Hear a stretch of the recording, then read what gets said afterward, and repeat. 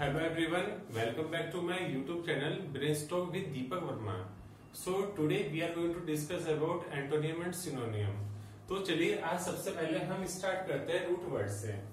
देखिए, यहाँ पे रूट वर्ड लिखा है H I D E hide right आप हाइड को H I S D E भी बोल सकते हैं। आप हाइड को H I D O S या फिर H I D E U S भी बोल सकते हैं। देखिए, ये जो रूट वर्ड है it has been taken from French language यानी कि ये वर्ड जो है, ये फ्रेंच लैंग्वेज से लिया गया है।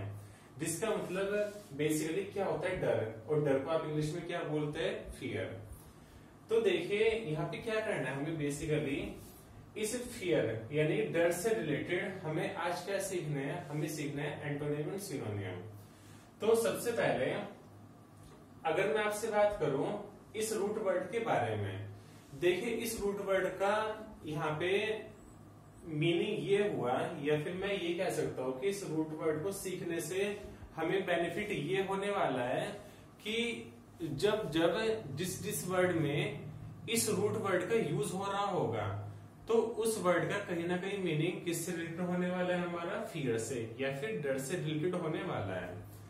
तो अगर मैं इसके सिनोनियम एंड एंटोनियम की बात करता हूँ तो सबसे पहले हमें ज़रूरी होता है कि हम किसी भी पर्टिकुलर वर्ड का, जिसका भी हम सिनोनियम या फिर एंटोनियम सीखने के लिए जा रहे हैं तो उसका एंटोनियम या सिनोनियम सीखने से पहले हमको हिंदी में ये जानना ज़रूरी होता है कि उस पर्टिकुलर वर्ड का सिनोनियम हो या फिर हो एंटोनियम हिंदी में क्या हो सकते हैं? तभी हम इंग्लिश में सिनोनियम या फिर एंटोनियम बना सकते हैं। देखिए स्टूडेंट्स मैंने आपको लास्ट क्लास में ये बताया था कि जो सिनोनिम होता है, वो बेसिकली होता है एक पर्टिकुलर वर्ड का सिमिलर जिसका मीनिंग एक पर्टिकुलर वर्ड क्या हो सिमिलर हो, या फिर उसका मीनिंग उस पर्टिकुलर वर्ड के क्या हो नियरेस्ट हो, कैसे? देखिए, जैसे मान लीजिए, आज मुझे फियर का क्या बनाना है सिनोनिम बनाना है, ठीक है? तो आप मुझे बताइए, डर से रिलेटेड वर्ड क्या हुआ यहाँ पे? ड्रावना? ठीक है, ये क्या है ड्रावना वर्ड ये इसके नियरेस्ट हुआ ना तो we will call it the synonym of this word अगर मैं आपसे बात करूँ, भयानक, ठीक है? जो भयानक वर्ड है, वो भी किसके, किससे रिलेटेड है? डर से रिलेटेड है? या फिर मैं कह सकता हूँ कि इसका मीनिंग इसके मीनिंग से क्या है? नियरेस्ट है। और जो भी नियरेस्ट होता है it will be called synonym आप मुझे बताइए, जो एक पर्टिकुलर ऑब्जेक्ट या फिर एक पर्टिकुलर पर्सन जो कि ड्रावना होता है, भयानक होता है, या फिर जिसको देख के हमें डर लगता है, वो बेसिकली क्या होता है? बदसूरत भी होता है ना? तो जो भी बदसूरत होगा, वो क्या है उसका मीनिंग इस वर्ड के नियरेस्ट है तो हम बदसूरत को भी क्या बोलेंगे यहाँ पे? सिनोनियम आप मुझे बताइए, जो ऑब्जेक्ट या जो पर्सन बेसिकली बदसूरत होगा उसको वो भयानक भी होगा और भयानक डरावना भी होगा, और डरावना देख करके हमें डर भी लगेगा, और जिससे हमें बेसिकली डर लगने वाला है, ठीक है? उससे बेसिकली हम लोग क्या करेंगे? हेट करेंगे यानी घृणा करेंगे? तो that's why it will also be called the synonym of this word right it is clear have you understood देखिए, अगर मैं बात करता हूँ एंटोनियम की तो मैंने आपको लास्ट क्लास में ये भी बताया था कि एंटोनियम का मतलब होता है the opposite meaning of particular word right तो आप मुझे बताइए, डरावना, भयानक, बदसूरत है फिर घटना स्पालित इनका एंटोनियम यानी कि इनका अपोजिट क्या हो सकता है? इनका अपोजिट बेसिकली सुंदर, ठीक है? जो सुंदर होगा, वो प्यारा भी होगा। जो प्यारा होगा, सुंदर होगा, वो बेसिकली क्या होगा? आकर्षक होगा अच्छा होगा। या फिर सुहाना होगा। तो देखिए स्टूडेंट्स हमने एक पर्टिकुलर वर्ड को एक उसका एक रूट वर्ड सीखा है ठीक है? और रूट वर्ड से, उसका मीनिंग क्या निकल के आया यहाँ पर? फियर राइट अब देखिए फियर से रिलेटेड हमने सिनोनियम भी यहाँ पे सीखा है क्या हो सकता है? और उससे रिलेटेड जो एंटोनियम है हमने वो भी सीखा है कि क्या हो सकता है।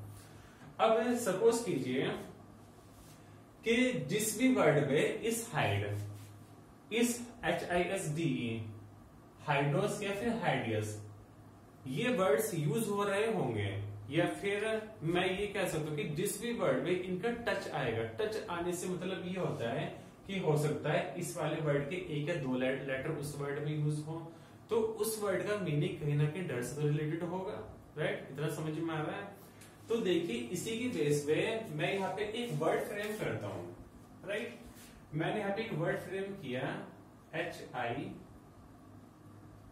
D E O U S and this word was frame in thirteen century यानी कि सबसे पहले इस रूट वर्ड को यूज़ करते हुए ये वाला जो वर्ड है, इसको फ्रेम किया गया बेसिकली थर्टीन सेंचुरी में.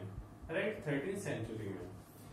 तो देखिए स्टूडेंट्स मैंने आपको लास्ट क्लास में बताया था कि जिस भी वर्ड के लास्ट में ओ यू एस स्टार्ट होता है, ठीक है, उस वर्ड को हम बोलते हैं वहाँ पर एडजेक्टिव तो मैंने यहाँ पर लिख दिया एडजेक्टिव इज़ इट क्लियर अब देखिए, हमने ये भी सीखा है लास्ट क्लास में कि अगर मुझे एडजेक्टिव की हेल्प से अगर एडवर्ब बनाना होता है तो हमें बेसिकली क्या करना होता है? इस एडजेक्टिव के लास्ट में एलवाई ऐड करना होता है. तो कैसे ऐड कर सकते हैं हम? तो मैंने यहाँ पे इसको किया H I D E O U S L Y right और जिस भी वर्ड क्लास में एल वाई होता है, उसको हम क्या बोलते हैं? Adverb right is it clear अगर मैं इसका नाउन बनाना चाहूँ तो मैंने आपको बताया कि अगर मैं एडजेक्टिव के लास्ट में N E S S add करता हूँ, कैसे?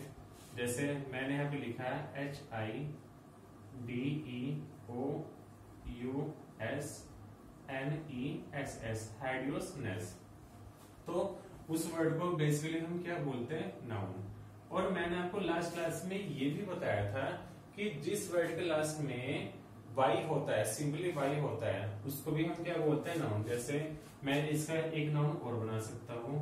H I D E O S I T Y देखिए लास्ट में वाई आ रहा है तो ये क्या होता है यहाँ पे? नाउन तो देखिए स्टूडेंट्स मैंने क्या किया? मैंने केवल और केवल एक रूट वर्ड को लर्न किया, ठीक है? और उसके हेल्प से मैंने क्या किया? वन टू थ्री फोर मैंने यहाँ पे क्या किया? फॉरवर्ड फ्रेम कर लिए। आप मुझे बताइए, जिस भी वर्ड क्लास में ओएस होता है, उसको हम क्या बोलते हैं? एडजेक्टिव और मुझे पता है कि एडजेक्टिव बेसिकली क्या करता है? एडजेक्टिव बेसिकली किसी भी नाउन या प्रोनाउन की क्वालिटी को शो करता है। तो अगर मैं आपसे पूछूँ कि यहाँ पे H I D E O U S इसका मीनिंग यहाँ पर क्या हो सकता है? तो आप मुझे बोलेंगे, ड्रावना, डर, भयानक, क्या हो सकता है? खुद सोच के बताइए। तो देखिए यहाँ पे यहाँ पे ये है बेसिकली एडजेक्टिव और एडजेक्टिव इसका हो सकता है ड्रावना या फिर भयानक क्यों? क्योंकि ये शो कर रहा है किसी भी पर्टिकुलर ऑब्जेक्ट या फिर एक पर्सन की क्वालिटी को।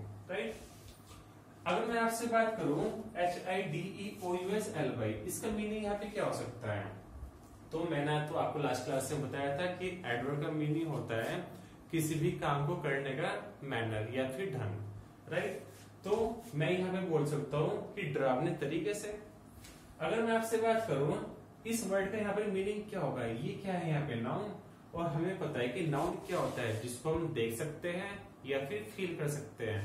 तो आप मुझे बताइए, इन सभी के सभी वर्ड में से ऐसा कौन सा वर्ड हो सकता है कि जिसको आप फील कर सकते हैं? देखिए, डर को तो आप फील कर सकते हैं, ठीक है? अच्छा अगर मैं आपसे बात करूँ भयानक, या ड्रावना, इसको क्या आप फील कर सकते हो? नहीं, इसको आप फील नहीं कर सकते हो। तो कहीं ना कहीं H I D O U S N E S S इसका मीनिंग होगा यहाँ पर डर, ठीक है? क्योंकि हम डर को फील कर सकते हैं।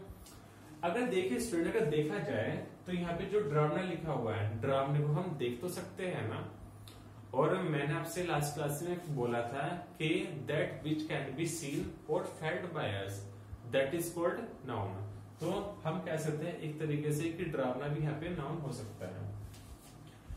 तो देखिए, ये भी नाउन था यहाँ पे और ये भी क्या था यहाँ पर नाउन तो जो मीनिंग इस ऊपर वाले वर्ड का होगा, वही मीनिंग इस नीचे वाले वर्ड का भी होने वाला है।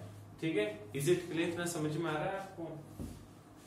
तो अब हम बात करते हैं बेसिकली इस पर्टिकुलर वर्ड का, यानी कि H I D O U S यानी कि जो मैंने अभी ये वर्ड लिखा है, इसका सिनोनिम क्या हो सकता है और एंटोनिम क्या हो सकता है? लेकिन देखिए स्टूडेंट्स मैं आपको एक बात और बताने जा रहा हूँ। देखिए, जो आपके एग्ज़ाम में सिनोनिम में एंटोनिम आते हैं, उसमें बेसिकली ये होता है कि अगर आपको कोई जैसे फियर है यहाँ पे, ठीक है? अगर मैं आपसे पूछूँ कि फियर यहाँ पर क्या होगा, ये होगा यहाँ पर adjective why because we can feel it and see it that's why it will be called adjective तो अगर मेन वर्ड यहाँ पर एडजेक्टिव है और आपसे एग्ज़ाम में सिनोनियम या फिर एंटोनियम पूछते हैं इस पर्टिकुलर वर्ड का तो उसका सिनोनियम या एंटोनियम भी उसी सेम फॉर्म में होना चाहिए। यानी कि अगर ये वाला वर्ड एडजेक्टिव के फॉर्म में लिखा है ना तो उसका आंसर भी एडजेक्टिव की फॉर्म में होना चाहिए। अगर मान लीजिए ये वाला वर्ड अगर नाउन की फॉर्म में लिखा रहता तो उसका आंसर भी नाउन की फॉर्म में ही होना चाहिए। क्योंकि कभी कभी एग्जामिनर आपको कंफ्यूज करने के लिए क्या करता है, वो मेन वर्ड तो देता है नाउन ठीक है? लेकिन उसके ऑप्शंस में एक एडजेक्टिव होगा, एक एडवर्ब होगा, एक होगा बेसिकली वर्ब तो आपको क्या करना है? आपको सेम कॉम्बिनेशन यहाँ पे चूज़ करना है। तो आइए हम सबसे पहले बात करते हैं सिनोनियम के बारे में। तो यहाँ पे सिनोनियम में मैंने यहाँ पे एक वर्ड लिखा। मैं यहाँ पे एक वर्ड लिखता हूँ, ugly. U G L Y ugly right ugly का मतलब होता है बदसूरत राइट इसका मतलब क्या होता है यहाँ पे? बदसूरत। तो हम कह सकते हैं ये क्या होगा यहाँ पे? इसका सिनोनियम तो अगर मैं आपसे पूछूँ कि अगली यहाँ पे क्या होगा? ये बेसिकली यहाँ पे होगा adjective why because it is qualifying this word यानी कि क्या बता रहा है, इसकी क्वालिटी बता रहा है। तो देखिए, अगर हम इसकी डिफरेंट डिफरेंट इसको फॉर्म में कन्वर्ट करते हैं, मुझे पता है कि अगर मैं एडजेक्टिव में एल वाई एड करता हूँ तो हम उसको क्या बोलते हैं? एडवर्ब तो मैंने यहाँ पे लिखा है U G L Y L Y right लेकिन देखिए, जब भी हम एल वाई एड करेंगे इसमें तो हम यहाँ पे वाई को रिमूव करके यहाँ पे क्या ऐड करने वाले हैं? आई राइट अब ले ली U L I L Y तो देखिए, मैंने ये क्या बनाया यहाँ पर? एडवर्ब ये बनता है बेसिकली यहाँ पर एडवर्ब तो देखिए स्टूडेंट अगर मुझे इसका यहाँ पे नाउन बनाना है तो नाउन बनाने के लिए मुझे क्या करना पड़ेगा? इस वर्ड में क्या करना पड़ेगा? एन ई एस एस को ऐड करना पड़ेगा। तो मैंने यहाँ पे लिखा अगली नेस तो अगलीनेस क्या बनता है यहाँ पे? नाउन राइट अगर मैं बात करूँ इसके वर्ब के बारे में तो वर्ब बेसिकली इसका होने वाला है uglify U G L I F Y uglify. तो ये होने वाला है वर्ब तो अब आप एक बात याद रखिए कि जिस भी वर्ड क्लास में एफ़ वाई यूज़ होता है, उस वर्ड को हम बोलते हैं वहाँ पे वर्ब ठीक है? अगर मैं आपसे पूछूँ कि इस वर्ड का मतलब क्या हो सकता है तो ये तो एक्टिविटी को रिप्रेजेंट कर रहा है। तो इसका मतलब होगा बदसूरत बनाना, ठीक है? अगर मैं आपसे पूछूँ कि अगली नैस और अगली ली का मतलब क्या होगा तो आप क्या कहेंगे? बदसूरत तरीके से, ठीक है? अगली नैस का मतलब क्या होगा? यहाँ पे इसका मतलब होगा बदसूरत ठीक है? सेम ये मीनिंग होने वाला है। तो देखिए, हम नेक्स्ट वर्ड के बारे में बात करते हैं। नेक्स्ट वर्ड यहाँ पे मेंशन है frightful F R I G H T F U L frightful का मतलब होता है ड्रावना। और ड्रावना यहाँ पे क्या होने वाला है? ये यहाँ पे होने वाला है एडजेक्टिव ठीक है? राइट तो समझ में आ रहा है? और हमें पता है कि जब भी हम एडजेक्टिव के लास्ट में एल वाई एड करते हैं तो उसको हम बोलते हैं वहाँ पे एडवर्ब तो मैंने यहाँ पे लिखा F R I G S T fright right F U F U L L Y frightfully ठीक है? अगर मैं आपसे बात करूँ, इसका नाउन क्या हो सकता है? तो इसका नाउन बनाने के लिए मुझे क्या करना पड़ेगा इस क्लास में? एन ई एस एस को ऐड करना होगा। तो मैंने यहाँ पे लिखा F R I G S T fright F U L N E S S frightfulness और ये क्या बनता है मेरा? ये बनता है ये यहाँ पर मेरा नाउन ठीक है? अगर मैं आपसे बात करूँ कि इसका वर्ब क्या हो सकता है? इसका वर्ब हो सकता है? F R I G H T E N ठीक है? ये यहाँ पे बेसिकली इस इस वर्ड का हो सकता है वर्ब तो देखिए स्टूडेंट्स आप जिस जिस, आप जैसे जैसे इस पे वर्कआउट करते चले जाएँगे धीरे धीरे सभी चीज़ आपकी क्लियर होती चली जाएगी। तो देखिए अब हम नेक्स्ट वर्ड के बारे में बात करते हैं। अगर आपने ये नोट नहीं किया तो नोट कर लीजिए इसको।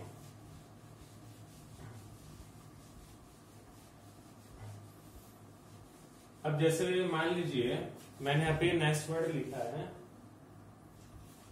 गासली यानी कि G H A S T L Y गासली ठीक है? गासली देखिए, अगर देखा जाए ना यहाँ पे तो ये एडवर्ब भी हो सकता है, ठीक है? क्योंकि इस क्लास में क्या रहा है एल वाई लेकिन एडवर्ब होने के साथ साथ ये यहाँ पे दो मेन रोल प्ले कर रहा है। यानी कि मैं इसको यहाँ पर एडजेक्टिव भी बोल सकता हूँ और मैं इसको यहाँ पर एडवर्ब भी बोल सकता हूँ। राइट अब देखिए, इसका अगर मैं आपसे बात करूँ कि इसका नाउन क्या बन सकता है तो नाउन बनाने के लिए मुझे क्या करना पड़ेगा? G H A S T L I N E S S ghastliness ठीक है? ये क्या बन जाएगा मेरा यहाँ पे? Noun is it clear next word की अगर मैं आपसे बात करूँ तो नेक्स्ट वर्ड हमारे यहाँ पे होता है fierce F I E R C E fierce का मतलब भी क्या होता है? भयानक. मैंने यहाँ पे मेंशन किया है भयानक. राइट इस वर्ड का मतलब होता है भयानक. अब आप खुद से ट्राई कीजिए। स्टूडेंट्स देखिए, ये तो है यहाँ पर एडजेक्टिव ठीक है? आप खुद से ट्राई कीजिए कि इसका एडवर्ब क्या बन सकता है। इसका एडवर्ब बन सकता है F I E R C E L Y it would be adverb ठीक है? राइट क्योंकि देखिए इट इज़ वेरी सिंपल हमें पता है कि जिस भी वर्ड के लास्ट में हम एल वाई एड करते हैं, यानी कि जिस भी वर्ड इन द सेंस हमेशा इट वुड बी एडजेक्टिव यानी कि हमेशा ये वर्ड होना चाहिए हमारा एडजेक्टिव तो इसका अगर मैं आपसे नाउन की बात करूँ तो नाउन क्या बन, बन सकता है? Noun F I E R यानी कि N E S S C E fierceness ये होगा यहाँ पर हमारा नाउन अगर मैं बात करूँ कि इसका वर्ब क्या हो सकता है तो वर्ब इसका बनेगा F I E R C E N fiercen ठीक है? ये होगा हमारा वर्ड हैव अंडरस्टूड तो आप इसको हैंड टू नोट करते चलिए। अभी हम ओरल सिनोनिम के बारे में बात करने वाले हैं।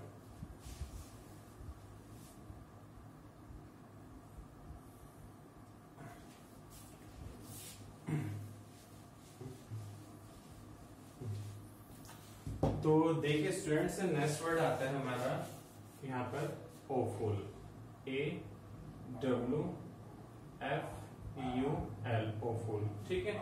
देखिए ओफुल जो है ओफुल का मतलब होता है डरावना यहाँ पे। तो मैंने यहाँ पे इसको लिखा है डरावना तो अगर मैं आपसे बात करूँ, इसको हम क्या बोलने वाले यहाँ पर? एडजेक्टिव राइट अगर मैं इसके एडवर्ब की बात करूँ तो क्या करना है आपको? Awfully A W F U L L Y awfully ठीक है? इसको हम क्या बोलने वाले हैं यहाँ पर? एडवर्ब तो देखिए, इसका नाउन होने वाला है awfulness A W F U L N E S S awfulness ये तो होगा हमारे यहाँ पर नाउन और ये होगा हमारे यहाँ पर एडवर्ब लेकिन स्टूडेंट्स यहाँ पर इसका कोई कोई भी वर्ब नहीं बन पाएगा। ये आपको याद रखना है कि कभी कभी कुछ वर्ड्स ऐसे होते हैं कि हम उनका वहाँ पर एडजेक्टिव बना सकते हैं एडवर्ब बना सकते हैं नाउन बना सकते हैं। लेकिन वहाँ पर उस वर्ड का कोई भी वर्ब नहीं बन पाएगा जैसे कि ये वर्ड आता है हमारा ओफुल ठीक है? और जिसका मतलब होता है ड्रावना तो अगर मैं नेक्स्ट वर्ड की बात करूँ नेक्स्ट वर्ड आता है हमारे यहाँ पे dreadful D R E A D F U N dreadful तो ड्रेडफुल का, अगर मैं आपसे बात करूँ एडवर्ब की तो क्या बन जाएगा यहाँ पे ड्रेडफुली यानी कि एल वाई लग जाएगा। अगर मैं आपसे बात करूँ कि इसका नाउन क्या बनना है तो नाउन बनाने के लिए आपको सिंपली क्या करना है? N E S S add करना है, यानी कि ड्रेडफुलनेस तो अब देखिए मैं सीधा जो की मेन वर्ड है, उसके बारे में बात करने जा रहा हूँ। तो नेक्स्ट वर्ड हमारा हो सकता है horrible H O R R I B L E horrible ठीक है? इसका भी मतलब क्या होता है? डरावना नेक्स्ट वर्ड अगर मैं बात करूँ तो नेक्स्ट वर्ड हमारा आता है green G R I M green right और ग्रीन का मतलब होता है भयानक. ग्रीन का मतलब क्या होता है? यहाँ पे भयानक. नेक्स्ट वर्ड आता है shocking S H O C K I N ji shocking ठीक है? देखिए शोकिंग वर्ड के बारे में आपने कहीं ना कहीं सुना होगा कि जैसे मान लीजिए, अगर आप आप कभी कभी क्या होता है कि अगर किसी की डेथ की न्यूज़ सुनते हैं तो एकदम से आप क्या हो जाते हैं शोक हो जाते हैं, यानी एकदम से आप डर जाते हैं। तो वही डर क्या होता है इस वर्ड का सिनोनियम नेक्स्ट वर्ड की बात करते हैं। नेक्स्ट वर्ड आता है loathsome L O A T H loathsome S O M E loathsome जो वर्ड होता है लोथसम ठीक है लोथसम ये होता है, इसका मीनिंग होता है घृणा ईश्वर यानी कि जिस भी ऑब्जेक्टिव पर्सन से आप बेसिकली हेट करते हैं, घृणा करते हैं। उसको बोलते हैं लोकसम नेक्स्ट वर्ड आता है corpse like corpse like C O R P S corpse like the corpse like का मतलब होता है लाइक का मतलब तो होता है पसंद करना या फिर किसी की तरह और कॉर्प्स बोलते हैं हम शव को, ठीक है? जो शव की तरह दिखे। और हमें पता है कि जब भी कोई शव की तरह दिखता है, वो क्या होता है? बेसिकली डेड बॉडी होती है। और डेड बॉडी को देख के कहीं ना कहीं क्या होता है? डर लगता है। तो that's why it would be called the synonym of this word एक वर्ड और आता है यहाँ पे मैं इसको रब कर देता हूँ।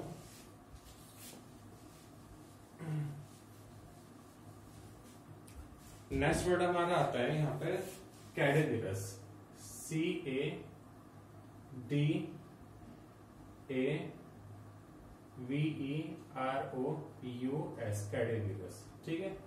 कैडेविरस का मतलब होता है शव जैसा। ठीक है? शव जैसा। तो अगर स्टूडेंट्स में आपसे बात करता हूँ कि कैडेविरस को हम क्या बोलने वाले हैं यहाँ पर? एडजेक्टिव नाउन एडवर्ब या फिर वर्ब तो देखिए भाई मुझे पता है ना कि लास्ट में यहाँ पे क्या यूज़ हो रहा है? ओयूएस और जिस भी वर्ड लास्ट में ओयूएस एड होता है, उसको बेसिकली हम बोलते हैं वहाँ पर एडजेक्टिव यहाँ पर एक लास्ट वर्ड की हम बात हम और कर लेते हैं. R E P U L S I V E repulsive ठीक है? साइड का भी मतलब यहाँ पे क्या होता है? घृणा इस यानी कि जिस भी ऑब्जेक्ट या पर्सन से आप बेसिकली हेट करते हैं, घृणा करते हैं, उसको हम बोलते हैं रिपल साइड तो अगर मैं आपसे पूछता हूँ कि रिपल साइड यहाँ पर क्या होगा? एडजेक्टिव एडवर्ब नाउन या फिर वर्ब तो देखिए, यहाँ पे क्या होता है? घटना यानी किसी की नाउन की या प्रोनाउन क्वालिटी बता रहा है। तो अगर एक क्वालिटी को यहाँ पे डिस्क्राइब कर रहा है तो हम क्या बोले कि repulsive will be called the adjective